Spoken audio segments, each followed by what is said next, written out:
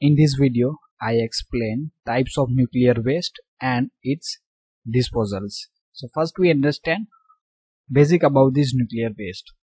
The radioactive emission during the operation of the plant is negligible means when the plant is run at that time they are emit very less radioactives but the emission intensity is very high which is come out from the waste Therefore, safe nuclear waste disposal is major problem for the nuclear industries. Means during the operation, the plant is not emits the very high radioactive, but nuclear waste coming out from the plant have a very high intensity of radioactive materials. So it is estimated that radioactive product of 400 megawatt power plant will be equivalent to 100 tons of radium daily. And the radioactive effect of this plant product if we expose to the atmosphere will kill all the living organisms within the area of about 160 square kilometers. They kill the other animals or the birds or even the agriculture products around the 160 square kilometers okay? So this is a very large area. Therefore safe disposal of nuclear waste really poses a problems for the nuclear scientists and engineers. The waste produced in the nuclear power plant may be in the three form. It may be liquid gas or a solid and each is treated in a different methods means the liquid waste is disposed as some other matters. For the gas or a solid the disposal methods are different. So now we understand in the detail how the solid gas and liquid waste are treated. So first we understand about the solid waste. Means the nuclear waste are present in the solid state. Okay. So that is a different way to disposals of a solid waste Solid radioactive waste will arise from the use of filters, sludge from the cooling ponds, means we are use the various filters in the nuclear power plants. Okay, so when we change these filters, so these filters are nuclear waste for us. Okay, sludge from the cooling ponds, piece of discarded fuel element cans and the splitters means the fuel coming out from the nuclear plant it is also waste these along with discarded items of the plant like as the control rod means some component we need to replace after some times. So this is also considered as the solid waste like as the control rods. So these are the various source of the solid waste. Okay. So there are many way for disposing of the solid fission products. Okay. So first matters are the storing in a shielding storage vaults consist in fixing the solid waste in a borosilicate glass means all the solid waste coming is stored in a borosilicate glass and then storing this glass in a leak tight capsule. Okay means first the solid waste is solid waste is stored in a borosilicate glass and then after this borosilicate glass is put in the liquid tight capsules.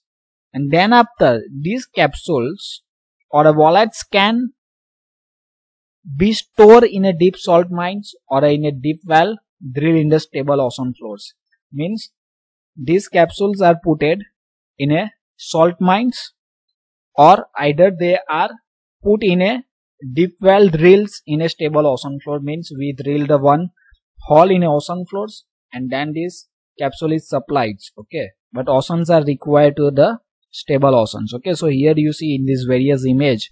So here this uh, cans are stored in a salt mines. Okay this is also salt mines. Sometimes they are stored in the water levels and then after they are discarded to some other places. The combustible solid waste is burned in a incinerators and then flue gases forms are filters and disposed of through stacks. Means some of the solid waste are combustible. So it is combustion of the solid waste is carried out and this combustion flue gases are passed from the some filters. And then from the filters the further flue gases are supplied to the atmospheres. Active solid waste are stored in a water for about 100 or more days to allow the radioactivity to decay. Means some waste are active. Okay. So first we need to decay this radioactivity by storing the solid waste in a water for a hundred days okay? So in this last image you see the solid waste are stored in a water for the hundred days okay? Then these are disposed of to deep salt mines or on a ocean floor or in a deep well drill in a stable geological strata okay? So these are the what is the solid waste and how the solid waste are disposed now before moving ahead i request to like the video and subscribe my channels for watching the more video related to power plant engineering or other subject of this mechanical engineering for power plant engineering various link is provided in descriptions as well as in a car for other subject i request to visit the playlist now we understand what is the liquid waste and how these liquid waste are disposed. Radioactive liquid effluents will arise from the laundry, personal decontamination, it's together with activity accumulating from the corrosions of the irradiated fuel elements in a storage ponds. Means uh, some fuels are stored in a storage ponds. At that times the liquid waste are coming from the laundry and the, for the personal decontamination the liquid waste are coming. The disposal of liquid waste is done in a two way. First one is the dilutions. Dilution means the liquid waste are mixed with the water means its intensity are dilute. The liquid waste are diluted with a large quantity of water. Okay, so these waste are mixed with the large quantity of water means the its intensities are reduced and then released into the ground. So these matters suffer from the drawback that there is a chances of contamination of underground water if the dilution factor is not advocate. Means if we are not provide sufficient quantity of water for the dilutions, at that time the dilution factor is not advocate means dilution factor is less at that time there is a chances is that the underground water is also contaminated with the radioactive material so it is the harmful for the human persons or for our environment. Second matter is the concentration to small volumes and the storage. Means the liquid waste is stored in a some volumes or a some vessels and then these vessels are stored. When these dilutions of radioactive liquid waste is not desirable due to amount of nature of isotopes means due to some reasons the dilution is not possible then what happen the liquid waste are concentrated to small volume and stored in underground tanks. And the tank should be of unsure long-term strength and the leakage of liquid from the tank shall not be takes place. Otherwise leakage of contents from the tank may be lead to significant underground water contamination. Means when we store the liquid waste in a some tank or some vessels okay? At that time we need to check its long term strength. Leakage is not possible from the tank because some leakage is carried out from the tank then they creates the problems. Now the third waste is the gaseous waste. During the normal operation the following discharge of radioactive gaseous coolant will occurs. So leakage from the pressure circuit at the blower oil seals from the charge and discharge machines. So krypton and ionized gas coming out from the spent nuclear fuels means from the nuclear fuels the krypton and ionized gases are coming out and these gases are radioactive because they are coming out from these nuclear fuels.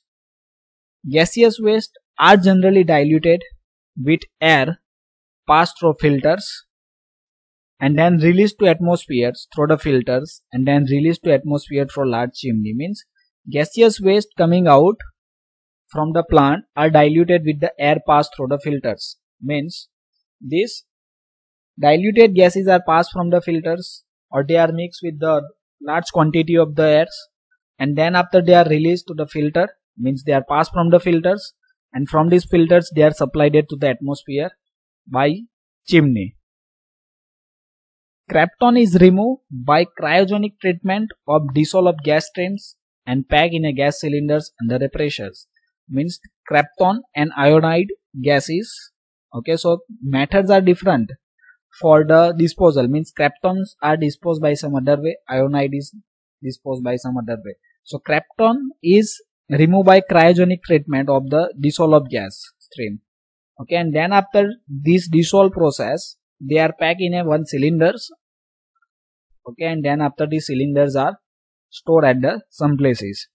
Iodide can be removed from off gases by caustic scrubbing or HNO3 scrubbings. Means by using the scrubbing process the iodide gases are free from the radioactives. Generally radioactive gases are collected and stored in the tank burned in a ground and disposed up to the atmospheres when activity level are sufficiently come down. Okay, means these radioactive gases are collect, they are stored in a tank and after storing they are burned in the ground and disposal of this atmosphere means these burning gases are disposed to the atmosphere when the activity level is sufficient come down. So thank you for watching this video. If you learned something then like my video, subscribe the channels and don't forget to share with your friends.